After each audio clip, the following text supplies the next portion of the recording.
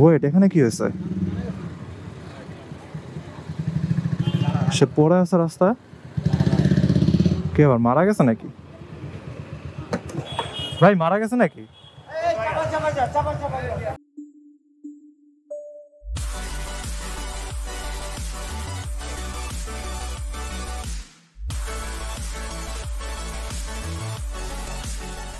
এই WhatsApp everyone গাছপালার ভিতর থেকে শুরু করলাম। এখন আমি আছি ধানমন্ডি সং করে এখান থেকে রাইট না বের হব।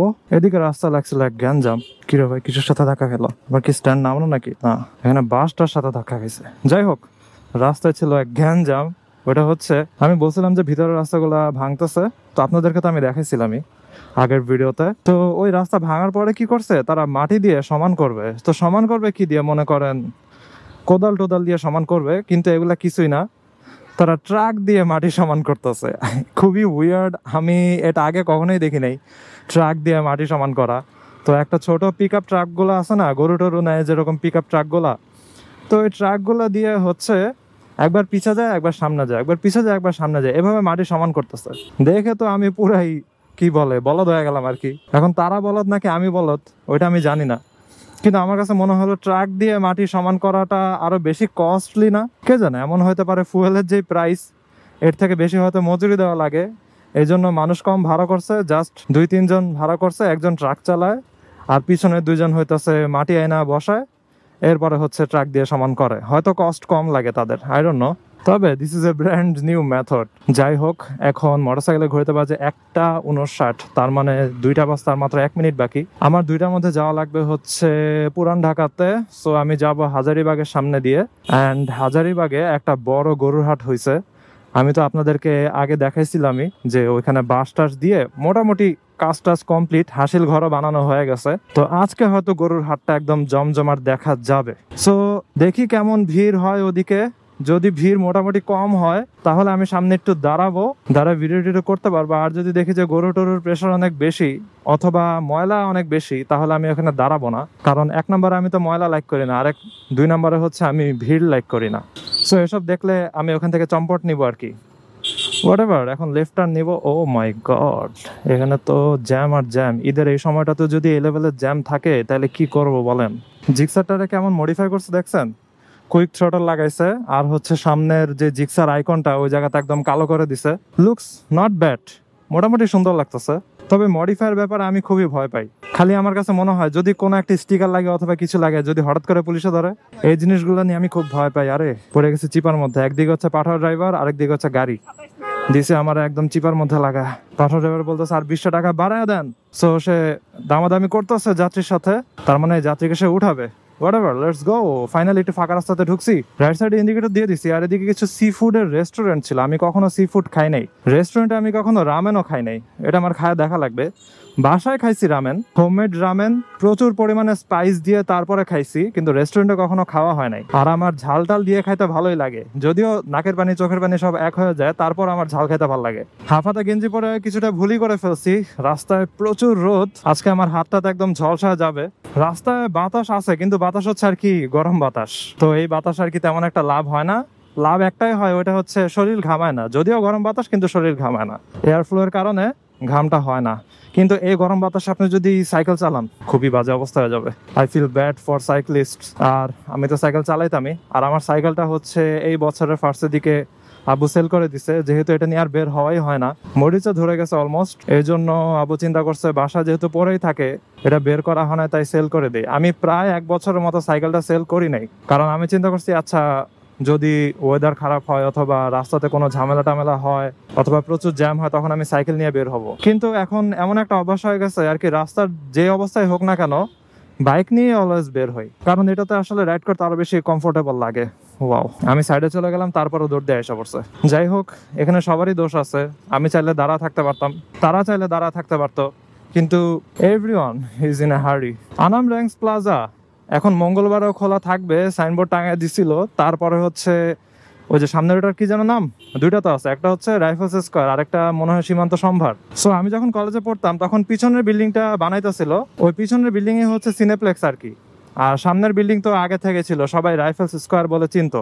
আর আমি যে কলেজে পড়তাম, ওটা ছিল মুন্সি আব্দুর রফ, ওই কলেজকে সবাই রাইফেলস কলেজ বলে চিনতো। এখন ভাবতাছি ইউটার্ন নিয়ে ম্যানহোলের গলি দিয়ে ঢুকবো, নাকি এদিক দিয়ে ঢুকবো? রাস্তা তো মনে হচ্ছে মোটামুটি খালি হইতে পারে, নাকি জীবনের ভুল করে ফেলব আই ডোন্ট নো কি করা যায়? আচ্ছা থাক, সোজাই যাই। দেখি তো একটু ডান দিকে তাকায় ওই রাস্তার কি অবস্থা। এই গলির নাম দিব আমি সিএনজি গলি। এই গলি হয়ে গেছে পুরাই সিএনজির আকরা যাক মোটামুটি খালি আছে।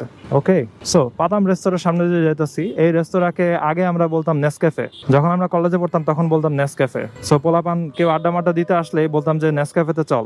যদিও কলেজ লাইফের ম্যাক্সিমাম গ্যাঞ্জাম ম্যাক্সিমাম মারামারি নেসক্যাফে থেকে শুরু হইতো। এক কলেজে পোলাপান আসতো, আরেক কলেজে পোলাপান আসতো। সো মনে করেন এক কলেজের পোলাপান অন্য কলেজের কোনো মেরে কিছু একটা বলতো। অথবা কেউ মনে করেন, ওই যে ওগুলা কি বলে? ধোঁয়া, পান করতেছে। সো আরেকজন মনে করেন আইসা কিছু একটা করছে। সো এগুলো থেকেই কলেজের মারামারি শুরু হয়। অ্যান্ড এসব মারামারি হুদাই এক মাস, দেড় মাস চলতে থাকে। অল রাইট সিএনজির গলিতে ঢুকে গেলাম। জিগাতলার সিএনজির গলি।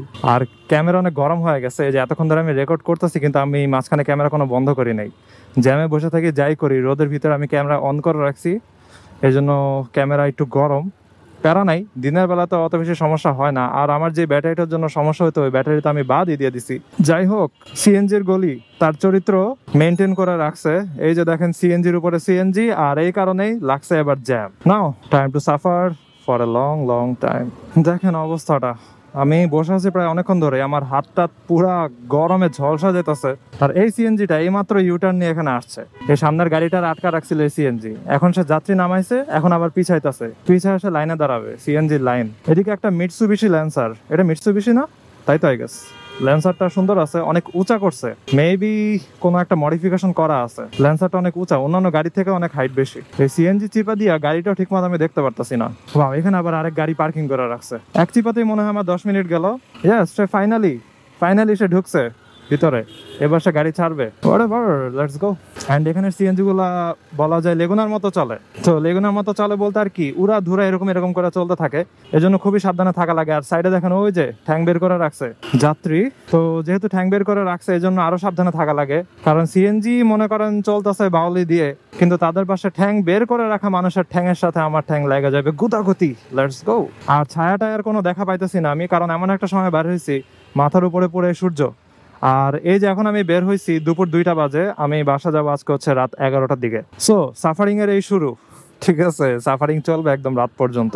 আর গোপ্রো ইউজ করার একটা সুবিধা হচ্ছে গোপ্রোর যদি আমি ক্যামেরা বন্ধ নাও করি, তারপরও সে কিছুক্ষণ সময় পর পর হচ্ছে সেপারেট ফাইল দিয়ে ভিডিওগুলো সেভ করে রাখে। ওয়েট এখানে কি হয়েছে? সে পড়ে আছে রাস্তা কে আবার মারা গেছে নাকি? ভাই মারা গেছে নাকি? ইমিডিয়েট মেডিকেলে নেওয়া লাগবে। এভাবে শোয়া রাখছে কেন রাস্তার ভিতরে? মনে তো হচ্ছে মারা গেছে। কারণ যদি জীবিত থাকতো তাহলে তো এতক্ষণে কোনো একটা ব্যবস্থা করে ফেলতো। ভ্যানে টানে উঠা অথবা রিক্সা উঠে নিয়ে যেত। কিন্তু সামনে পুলিশ দাঁড়ায় আছে। যেটা মনে হচ্ছে যে সে মারাই গেছে আই গেস কিন্তু গায়ে কোনো ক্ষত বিক্ষত অথবা সামনে কোনো অ্যাক্সিডেন্টের আলামত এরকম কিছুই দেখলাম না। একটা মোটরসাইকেল দাঁড়া করানো, কিন্তু মোটরসাইকেলটা তো কোনো স্পট দেখলাম না। আর যে মানুষটা শুয়ে আছে তার বডিতে কোনো ব্লাড দেখলাম না। এমন হইতে পারে যে হিট স্ট্রোক করছে। মোস্ট প্রবলি এটাই হবে। আই ডোন্ট নো যেহেতু তাকে জাস্ট শোয়া রাখছে, কেউ উঠাইতেছে না, কিছু করতেছে না মোস্ট প্রবলি তার নিঃশ্বাস নাই, হতে পারে। যাই হোক, এই যে গরু, প্রচুর গরু। জাস্ট কয়েকদিন আগে এই পুরা মাঠটা খালি ছিল, আজকে পুরাই ভরে গেছে, একদম এখান থেকে ওইখানে, সব জায়গাতে।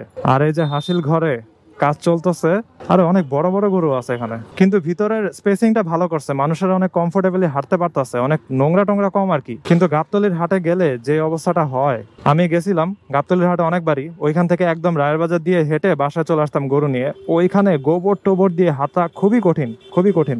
আজকের ভিডিওটা এখানে শেষ করি। খুবই খারাপ লাগল। একটা মানুষ মোস্ট প্রবলি রাস্তাতে মারা গেছে। অ্যান্ড আমি আসলে এরকম জিনিস ফার্স্ট টাইম দেখছি, রাস্তাতে এরকম ভাবে পড়ে থাকা। Okay I hope you guys like this video if are watching for the first time you can kindly subscribe to see next সবাই ভালো থাকেন, সাবধানে রাইড করেন। টাটা।